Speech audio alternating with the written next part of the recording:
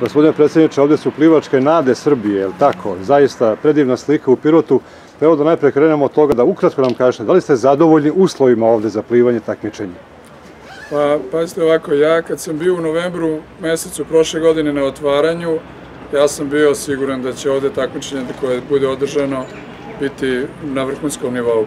Postojala je određena zebnja zbog nekih sitnih nedostataka koji su otklonjeni, znači maksimalno. Ja mislim da Pirot sad sa ovim centrom može da konkuriše za organizaciju najvećih plivačkih takmičenja, naravno u nekom rangu mlađih kategorija. Tako da mislim da je ova jedinstvena prilika i ova, ova šansa koju je Pirot sada u stvari opravdao i iskoristio da organizuje prvenstvo Srbije za pionire i kadete, znači za najmlađe kategorije, maksimalno iskorišćena i evo već mogu da kažem posle 15 minuta od početka takmičenja da, su, da smo svi prezadovoljni, znači najpre plivači, treneri, a naročito i mi iz Plivačkog saveza, jer smo najviše zahvaljujući i predsedniku opštine i ljudima koji rade na sportskom centru uspeli da, da, da, da ovo takmičenje organizujemo na najvišem mogućem nivou.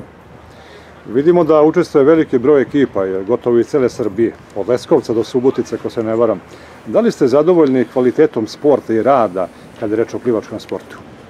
Pa, kao što znate, ja moram da, da kažem da je, kao što je u celoj državi velika kriza, ta kriza se osjeća i u, i u plivačkom sportu i postala je određena zebnja da li ćemo uspeti da se ovako da kažem, ad hoc i relativno brzo prilagodimo i, i prebacimo skroz na jug Srbije u smislu da smo uvek gledali da ta takmičenja se organizuju tamo gde, gde egzistiraju jači i veći klubovi, kao što su Beograd ili Vojvođanski klubovi. Međutim, po broju učesnika, znači preko 200 učesnika u pionirskoj i preko 200 u kadetskoj konkurenciji, znači praktično smo demantovani, svi su došli u Pirot, Znači, svi su se odazvali, preko 30, 34 kluba su se ovde pojavili na prvenstvu, tako da mislim da je, da je takmičenje jako, jako dobro započeto, a siguran sam da će biti lepo i, i završeno.